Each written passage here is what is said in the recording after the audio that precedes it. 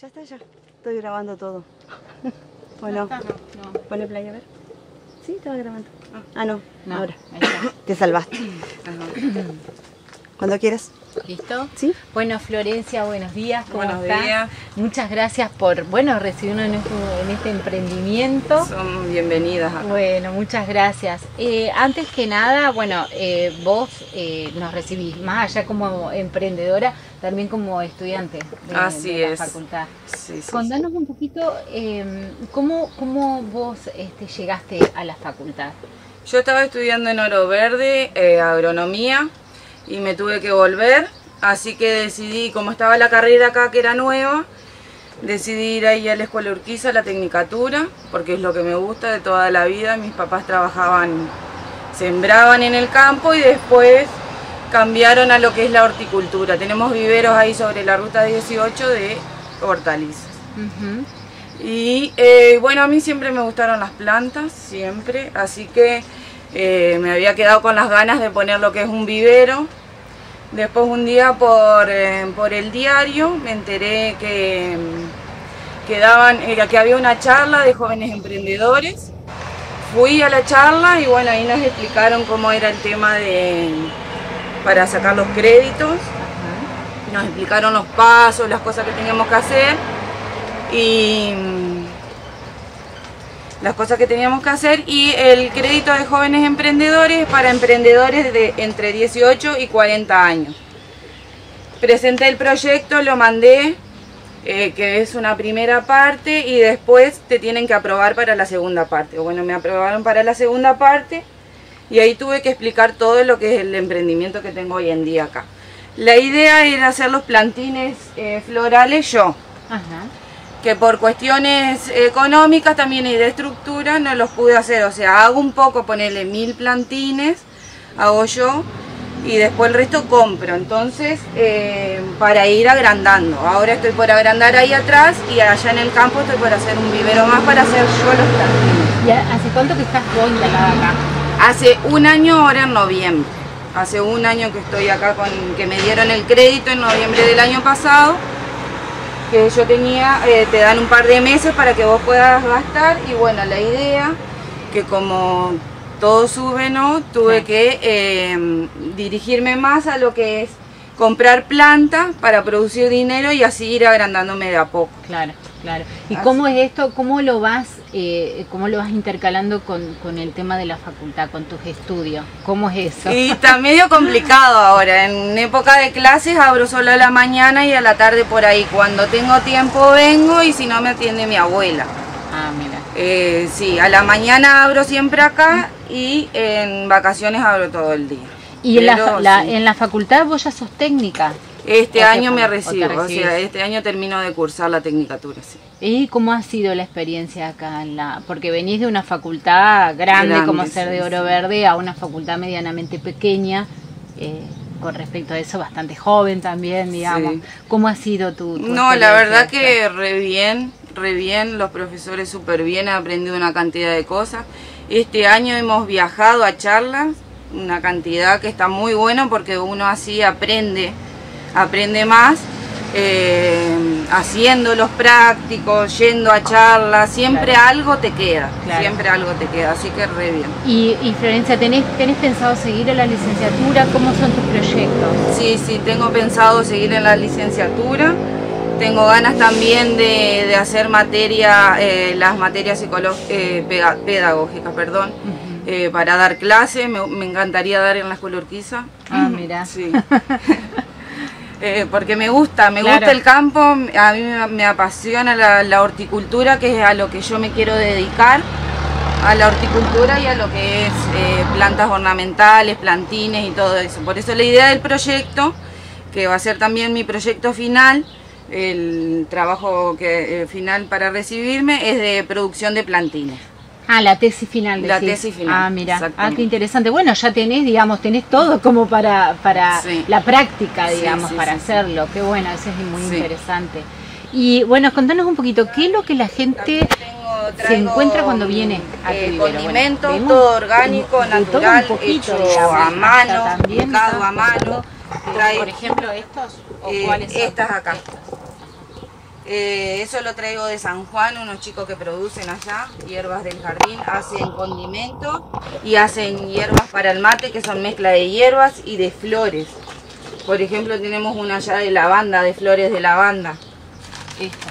Sí, es muy rica. Es. La lavanda, aparte de, de ser una planta decorativa, tiene muchísimas otras propiedades, tanto eh, para el ser humano como para la casa, las energías, ¿no? Claro, porque eso lo se relaciona mucho más que nada con lo, con lo, lo aromático, más Sí, que sí, para sí. ingerir, ¿no? no la Sí, verdad que no- no exactamente. sabía que se podía, por ejemplo, llevar el mate. Hoy en día se puede consumir todo lo que hay, ¿no? todo, todo, es impresionante.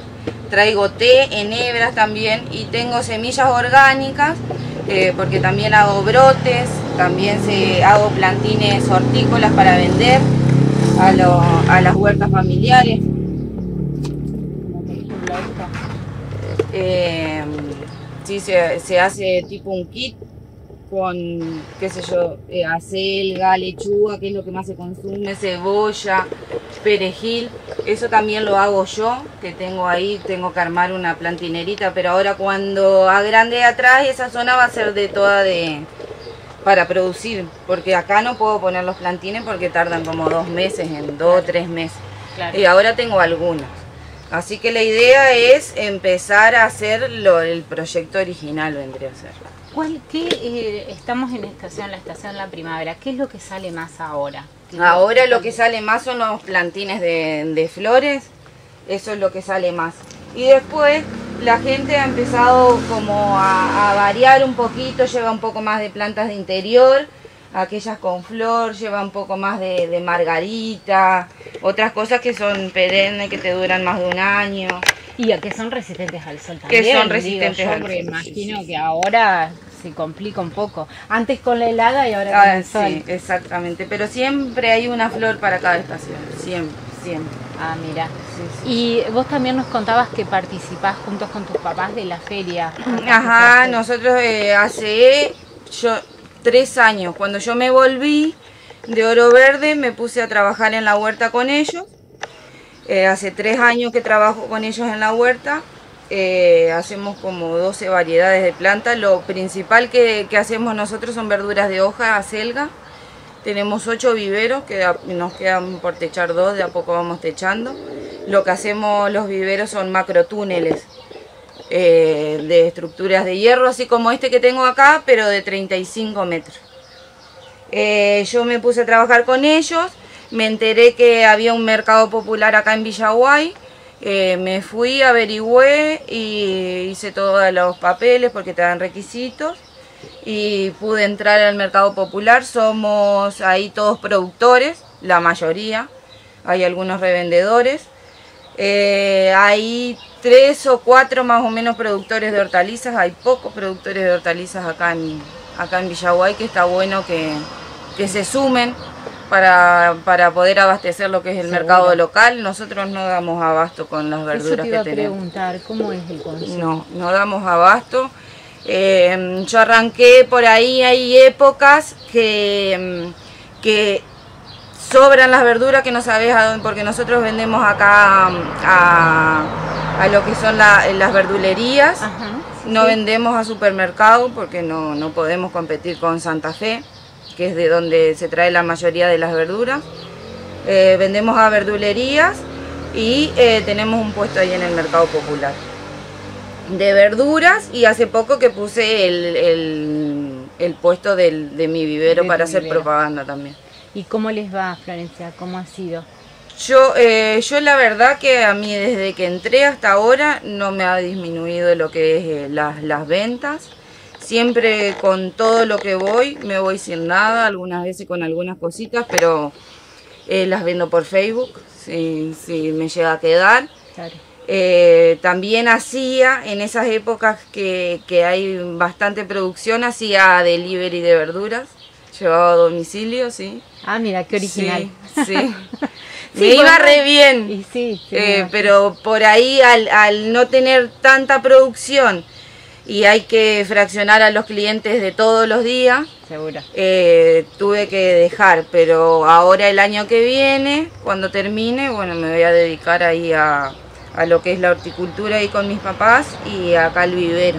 Eh, qué, qué importante que en la ciudad exista estos lugares así donde, donde agrupe a gente como ustedes que se dedican a, a- a esto de eh, cosechar su propia siembra, ¿no? Sí, Digo, sí, no sé, porque imagino que ustedes te ven, eh, así como hablábamos hoy, eh, contra la helada, contra el sol, con las inclemencias climáticas, bueno, uno tiene que luchar a diario con eso. Sí, hoy en día está complicado lo que es el tema, eh, el tema del tiempo, ha cambiado una cantidad para la gente del campo. Lo, bueno que tienen por ahí de hacer en vivero es que vos más o menos lo tenés controlado. Ahora en invierno hubo una helada que fue fuerte, que me quemó cosas acá que las tengo allá al cementerio ahí atrás. Ah. me quemó plantas, pero existen, ves lo que es esto, son telas antiheladas. Ah, mira. Eh, pero Claro. hubo muchos días de frío y es como que heló a las, eh, las enfrió a las plantas y ese día que cayó la helada, hasta acá adentro mató cosas. Sí, fue fuerte. Fue fuerte, fue fuerte. Sí, Pero dentro de todo vos podés eh, controlar lo que es el riego, la temperatura con medias sombras arriba, en invierno las heladas. Seguro. eh, se puede controlar bastante, bastante se puede controlar. Digamos, pero a vos te ha el, el hecho de los conocimientos teóricos de la facultad, imagino que te ha eh, ayudado y colaborado un montón, ¿no? Lo que ha- Sí, sí, sí. tu- lo que es Eh, hoy tu emprendimiento. Sí, eh, ponerle las cátedras que tienen, pone- eh, la de mm, eh, nutrición. Eh, el profesor también te, te ofrece que vos vayas, hagas análisis, eso no hay ningún problema, análisis de, De suelo, de los sustratos que vos utilizás para, para hacer los plantines, de la fertilización. Yo he preguntado una cantidad porque también hago jardines, pequeños por ahora porque los hago yo sola. Y la otra vez me habían pedido hacer un limonero en maceta. Hoy en día todo se puede hacer en maceta porque están todas las, le podés dar todas las condiciones necesarias a la planta. Entonces me fui y le pregunté al profesor que cómo podía hacer, cómo podía fertilizar, porque vos al limonero, va, todas las plantas requieren de, de- de su concentración de, nu- de nutrientes. Seguro. Entonces él me recomendó, eso no hay ningún problema, las puertas de la facultad siempre están abiertas para, para que vayas a preguntar lo que uno tiene dudas, ¿no? Seguro, seguro. Y mm, coméntame, ¿qué, ¿cuál es la planta o la flor que eh, es más requerida por la gente? El plantín floral, petunia, la clavelina sale una cantidad, los alisum que son esta como coronita de novia, eso sale muchísimo, los copetes ahora, el penacho, todo eso, eso sale esto en dos semanas, yo ya no tengo más nada. Los, los- plantines salen muchísimo ahora en verano. Muchísimo. Y después, bueno, tenés una de plantas de exteriores, por ahí. Ahora quieren muchos árboles frutales porque se está volviendo, gracias a Dios, a la huerta en la casa, Sí. a los árboles frutales en la casa para, para producir tus propios alimentos. Los árboles frutales están saliendo una cantidad, esos son muy requeridos. Y lo que es aromáticas ahora, eh, ha cambiado, la gente ha llevado mucho porque, mm, a ver, son fáciles de cuidar, eh, no necesitas mucho espacio, vos las pones en una maceta y tenés orégano cuando querés cocinar, tenés romero, tomillo, curry, to- eh, la stevia, que hoy en día para la stevia es, para, es como un endulzante, es un endulz- endulzante natural. Sí, como que eh, eso es reemplazás a lo que es la azúcar, La azúcar, ¿no? exactamente, Sí, seguramente. exactamente. Eh, sí. Es dulce, vos agarrás, pones una, una o dos hojitas en el termo, en el mate, esto si vos lo, lo, lo mordés, es dulce, es dulce. Eh, y, y es natural, es natural. Hoy en día se está volviendo mucho a lo natural, a lo natural, a lo orgánico. Orgánico acá no hay nada, porque para que sea orgánico tenés que certificar, es agroecológico. Ah, mira. Pero se trata de, de no utilizar nada de agroquímico.